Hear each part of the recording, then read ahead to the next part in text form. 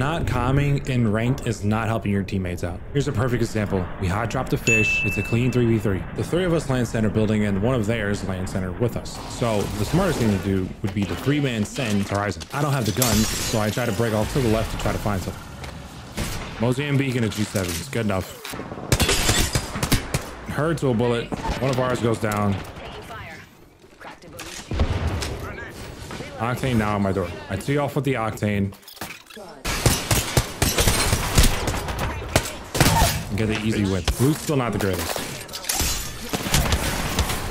Some good damage here. Valkyrie goes down. Shield swap, get some loot, swap the guns out, try to make a play. Now at this point, if you know they're sitting right on top of you, please tell me. Didn't even know he was there. Oh.